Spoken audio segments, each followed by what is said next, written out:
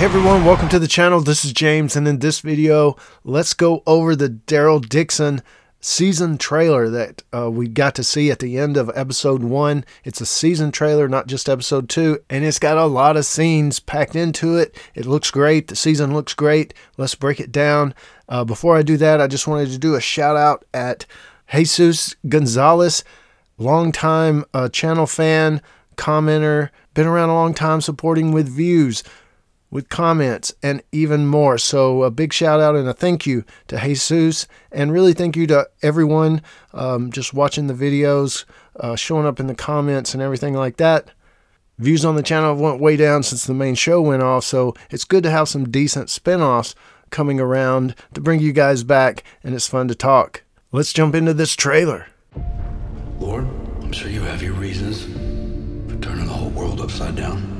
So yeah, we got Daryl, you know, praying pretty much, and you know, as far as religion, bringing in religion to this, the overtones of the show, you know, whatever, I'm okay with it. Anybody can be religious or want to be or not want to be or whatever, and if Daryl becomes that, you know, it's his character, that's the way he's written, whatever.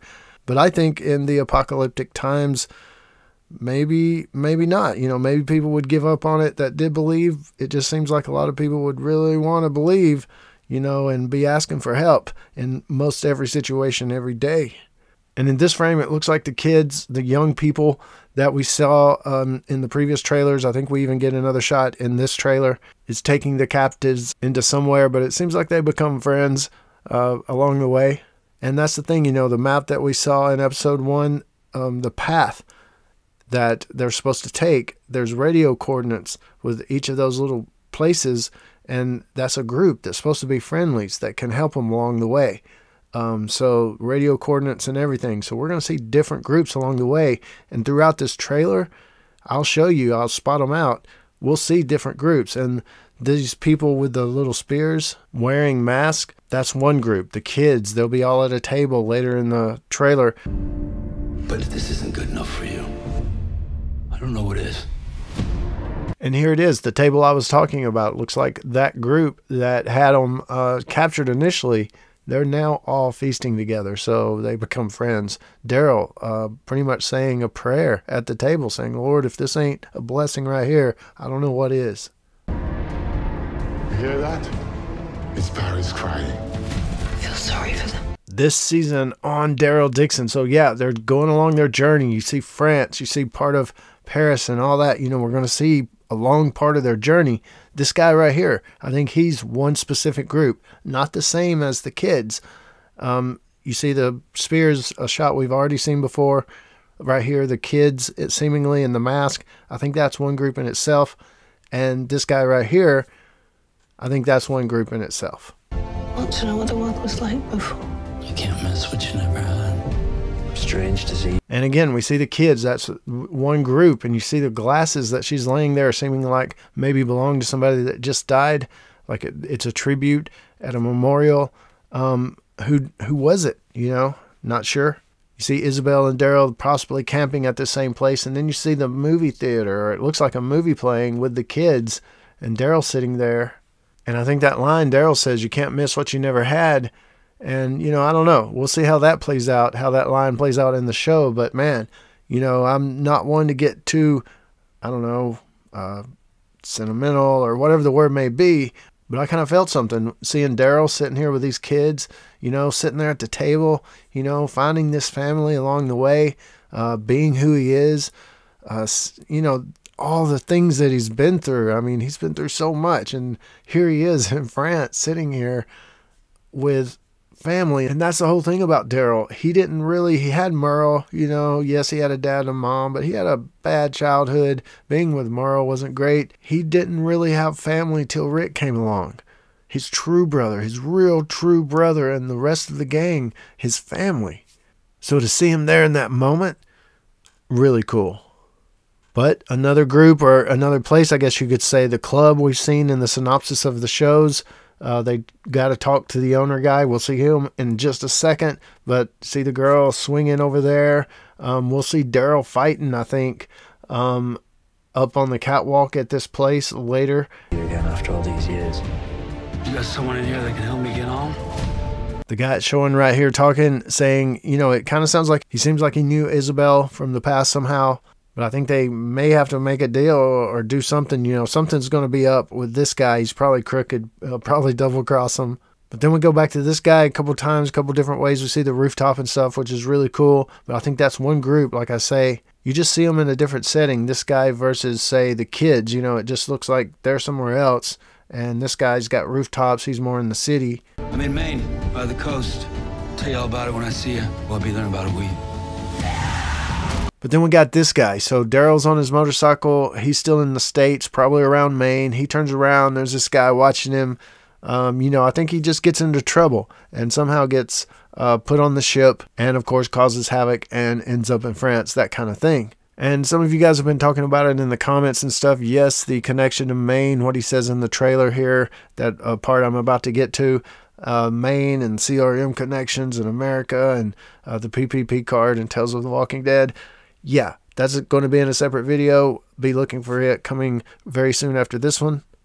And I do believe this is Carol. If he's not talking to Carol, he's talking to somebody at Commonwealth that could tell Carol what, you know, it could be Eugene, anybody that he called into, but I'm imagining he's talking to Carol. He says he's in Maine, up the coast, and that he'll be back, actually, but he doesn't come back. So Carol goes out to look for him and follows the clues his bike you know whatever else could be uh, left right there around the dock something or somebody is there that she you know puts a knife to their throat and says where's daryl? And um, they let him know and then another ship comes through. You know it's a route. It's a regular route. So she just waits for the next ship and she's heading to france to find her you know best friend her family. And we get some really cool shots some more shots of him on the boat fighting that crazy ass experimental walker thingy there, you know, whatever it is, a burner, a runner, burner, runner.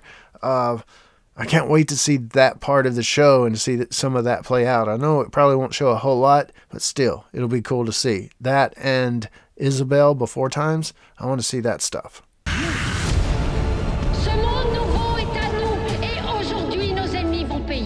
Another angle of that explosion, really cool, really cool. But then we got uh, Genet, the bad guy. Um, their organization, you know, is called The Cause. And she's saying the world is ours now. We're going to make our enemies pay. So, what does she mean by that?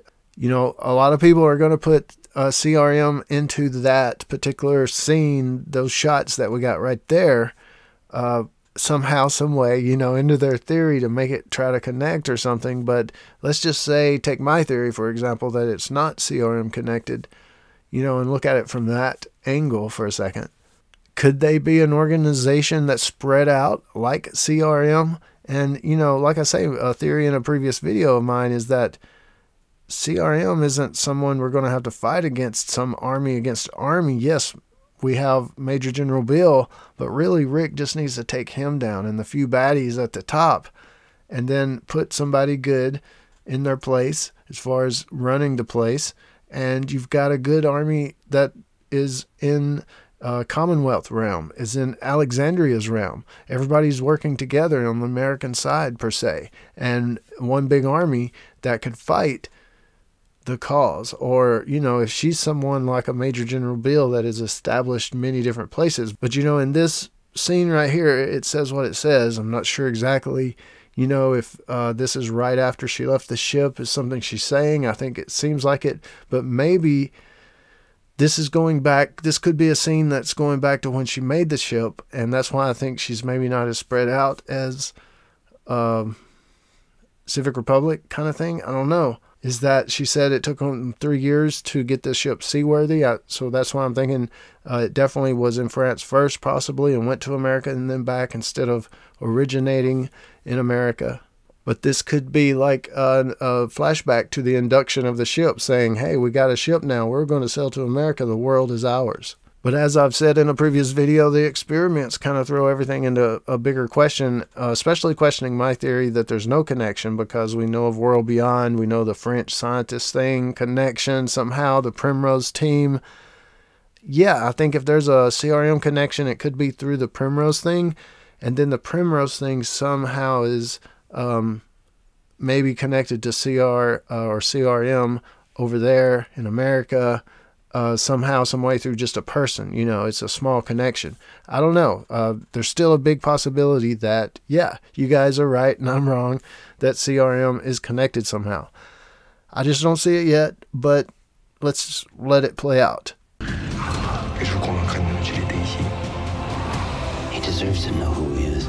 Yeah, so this zombie here, uh, this walker that runs towards the glass and hits it and blood just splatters, you know, it almost makes you think of the lady that got shot in the World Beyond post credit scene. She just run toward the door and it did look like she was just hitting it so hard she was beating herself to a pulp.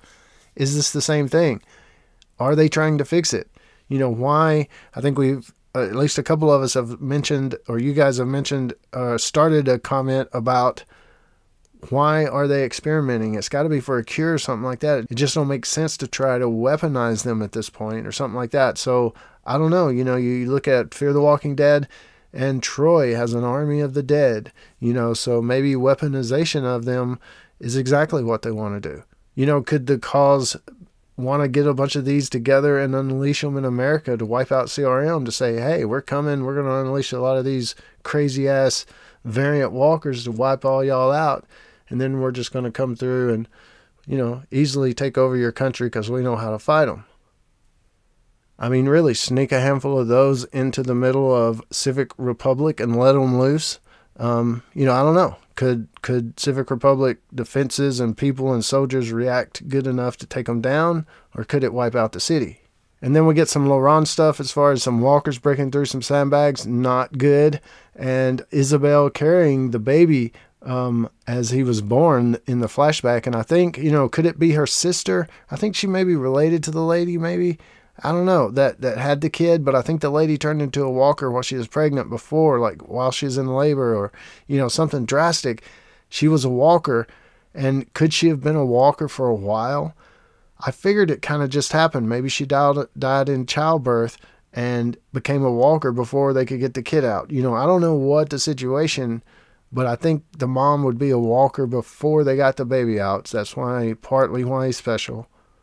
Not immune or anything, just special. It's a sign. You know how a lot of things in that they showed us in episode one about the nuns is, you know, this sign or the symbol, or, you know, we have this belief or philosophy, or in Laurent's case, you know, he can kind of see the future kind of stuff. So there's a lot of stuff kind of packed into all of that. I wonder who this little kid is over here. Promets qu'une fois dans l'or, chacun connaîtra sa place. Today you die! We got Isabelle fighting some walkers. That looks like where Daryl's pinned on one side, Laurent's on the other side, you know, and the praying thing, I just think maybe that's a dream, vision, something. It's not real. So he's not immune, you know, the walkers aren't really there, kind of thing. I don't know. But then we got the guys, you know, that big crazy castle out there in the middle of nowhere. That's the scene right there. And then Daryl in the pit. You know, I'm just going to call it now. Daryl's going to win. He's going to have the fight of his life. Man, he's had it hard all the way, you know, all the way. But man, the training, you know, fighting against Beta, fighting against all those different people and the walkers and all that kind of stuff, um, the saviors, all that fight led to this moment. And he's trained more than anybody else. You know, you could say it's another Rick and Winslow type moment uh, fighting. He even says, you know, I'm not going to die today. But him in the arena with that walker, oh man, that runner, burner, uh, both, maybe some even different walker, you know, that we haven't of different type, a combination of abilities or some, some other crazy something. But then we see Codron firing his weapon, maybe Daryl getting away or something, and a crazy looking Walker. I ain't gonna die in here. So a bunch of quick scenes, quick shots at the end. We got Isabelle, walkers all around. We got uh, the before times. Is that Isabelle in the car that hits that guy that's in the hat there, vest and hat? I think we see that guy turning into a walker that he's slammed up against the wall. Maybe that's Isabelle driving, maybe not, but she sees the guy reanimate. And I think this is a really, really cool shot of Daryl uh, looking down the gun at that angle uh, at the walkers behind him, kind of looking at him like, oh, supper. And then, of course, the explosion shot and the explosion. You know, that looks like Greg Nicotero right there. I could almost bet, you know, I would bet that is Greg Nicotero. I've seen a close up shot of a walker coming at Daryl around this type setting as well. It looked like Greg Nicotero, same makeup. I'm thinking that is Greg. And you could probably say this is probably a walker off the ship, possibly. You got the dart, I'm sure, you know, does knocking them out work? If they got a circulatory system like mentioned, uh, you know, in the World Beyond post credit scene, that could work, I guess. Got the mask on, you know, and all that kind of stuff. Daryl saying, I ain't going to die today. And uh, reminds me of uh, Game of Thrones, you know, not today. But then you got that Walker unmasked and coming at Daryl full force. That ain't no shambling Walker right there, man. That is a Walker that is running full force at Daryl, uh, possibly with no weapons. You know, what is he going to do? I know he's going to get out of it. I'm calling it, like I said. Uh, you can't talk me out of it. I've made my decision. I think Daryl's going to win. but we've all got a lot of theories out there about this show so far. It's the CRM connections, the the experiments, why they're doing it. Um, and like I say, I'm about to release a video, upload a video that's about the Tales from the Walking Dead episode. We'll take a look back at that, the PPP card, a possible connection, uh, and how Maine could tie into it all. Um, just some theory type talk and stuff, of course. We'll see if it matters, if it doesn't matter. But man, I think the season of Daryl Dixon, first season, is looking really good. I'm enjoying it so far. I think it's going to be a great season. I think anybody that liked the first episode will enjoy the entire season. A lot of people in the comments said they didn't like it, so I guess you probably won't like the rest of the season either. But it's hit or miss. You know, everybody's got their own likes and dislikes.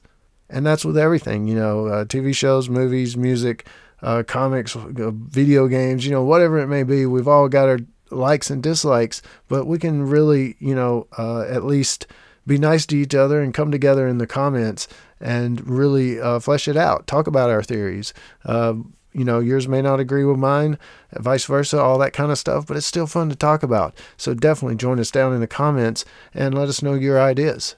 So remember, Daryl Dixon on Sundays. It doesn't come on early. Uh, we'll see how all of that plays out as well with the AMC stuff, uh, AMC Plus. But hey, you guys let me know what you think about it all down in the comments below, and you know I'll join you there. This is James in Nashville. As always, thanks for watching, and stay tuned for more dead stuff.